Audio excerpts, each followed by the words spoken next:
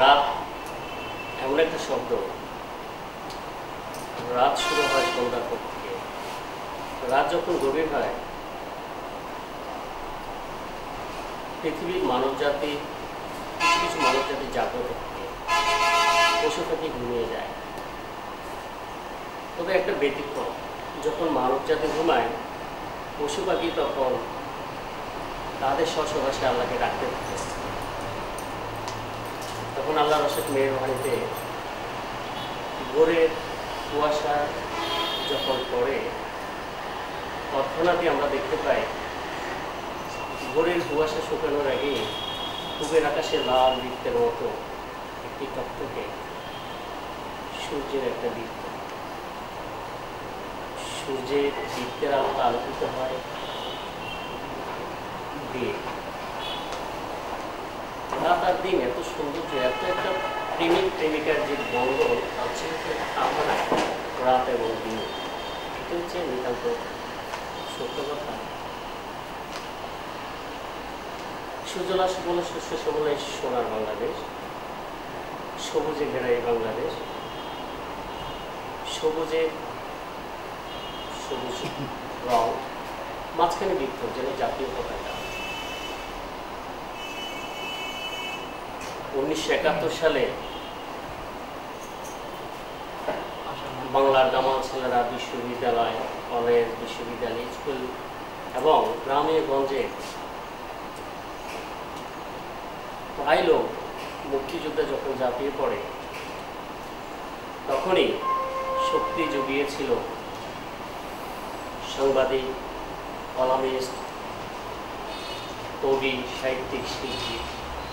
সুরলো গানে। সাংবাদিকদের ধারালো পবিত্র কলমের আফলে দেশ হলো স্বাধীন। স্বাধীন এই দেশে পবিত্র একটি দিনের এই দুপুরের সূর্যের কিরণেরা আলোতে দক্ষিণে হিমেল বাতাসে আজকে টোয়েন্টি ফোর ডট নিউজ যে অস্থায়ী কার্যালয়ে বাংলাদেশ সাংবাদিক কল্যাণ অ্যাসোসিয়েটেড নামে একটি সংগঠন আবির্ভাব হতে যাচ্ছে, সাধুবাদ জানাই। আজকে সম্মানিত সভাপতি, আজকে সম্মানিত বিশেষ অতিথি, আমার শ্রদ্ধেয় বাজন আজকে সম্মানিত প্রধানমন্ত্রী পাশাপাশি বিশেষ অতিথি, এবং আজকে সম্মানিত আগন্তুক আজকের আমার সাংবাদিক পরিবারের আত্মীয় স্বজন। একই বন্ধনে থাকাটাই কিন্তু আসলে খুবই কষ্টকর। তারপর আমরা চাই কাঁধে কাঁধ মিলিয়ে কাজ করা, আমরা আজকে থেকে শপথ নেব, আপনি বড়, আমি বড়, এই পৃথিবীতে সবচেয়ে বড় একমাত্র আল্লাহ। আসুন আমরা কাঁধে কাঁধ মিলিয়ে নতুনদেরকে উৎসব প্রেরণা দিয়ে কীভাবে দেশকে উন্নতি থেকে আরও উন্নত স্তরে নেওয়া যায়? দেশের জাতির সাথে কাজ করা যায়? ব্রেন এবং কলমার আচর দিয়ে হাতের তুলে দিয়ে।